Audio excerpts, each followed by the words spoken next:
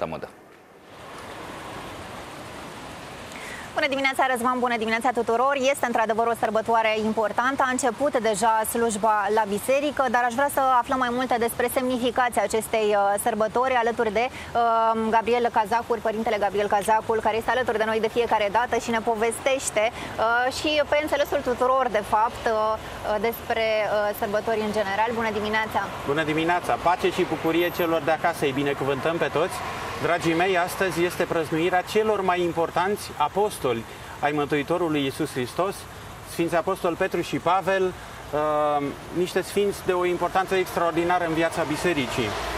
Au trăit frumos, l-au urmat pe Hristos, i-au ascultat învățăturile, au mers și au propovăduit, au propovăduit Evanghelia până la marginile pământului, au fost martirizați, deci au murit sau jertfit pentru Hristos, în anul 67, în timpul persecuției împăratului Nero, au fost martirizați la Roma în aceea zi. Astăzi noi prăsnuim, de fapt, moartea lor. Astăzi au fost martirizați. Sunt Apostol Petru a fost răstignit cu capul în jos, pentru că el a refuzat să fie răstignit precum Mântuitorul Iisus Hristos, iar Sfântul Apostol Pavel, Sfântului Apostol Pavel i-a fost tăiat capul au trăit și înseamnă pentru întreaga umanitate, pentru întreaga creștinătate, exemple luminoase de Evanghelie, de renunțare, de bucurie, de a merge și de a-L urma pe Hristos. Ei sunt păzitorii împărăției cerurilor.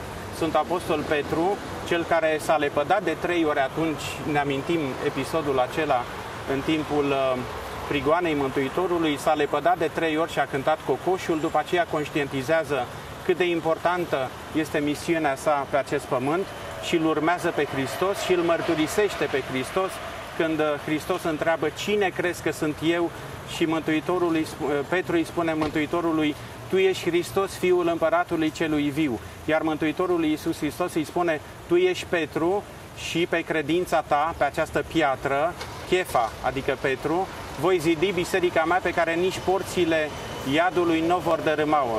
Este o zi de bucurie, sunt foarte mulți, le spunem la mulți ani celor care poartă numele Petru și Pavel. Sunt multe hramuri la nivel național, așa că vă invităm pe toți cei care stați acasă. Vă salutăm, vă așteptăm la biserică, ne rugăm împreună, le dorim succes copiilor care acum sunt la bacalaureat și cei care așteaptă rezultatele bune, sperăm noi, pentru admitere la liceu. Pandemia este aproape sfârșită, deci sunt multe semne bune. Îi salutăm cu bucurie, îi îmbrățișăm pe toți cei dragi și așteptăm să ne rugăm împreună. Uh, spunem că sunt ocrotitori al celor lipsiți de libertate sau doritori de libertate asta. Da, Petru fiind cel care are cheia raiului, bineînțeles că este, sunt uh, uh, în această accepțiune populară, sunt ocrotitori ai celor din penitenciare.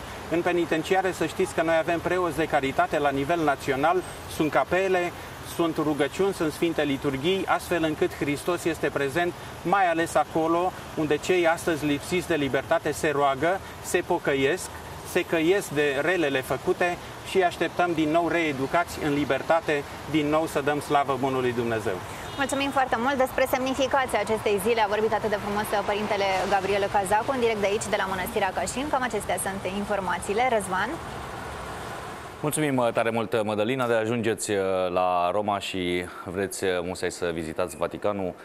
Sub scaunul papal se află mormântul lui Petru, pe dreapta la Pieta, ca să vă bucurați de un Michelangelo spectaculos și acolo undeva jos, Biserica lui Hristos, Biserica lui Petru, așa cum spunem noi creștinii.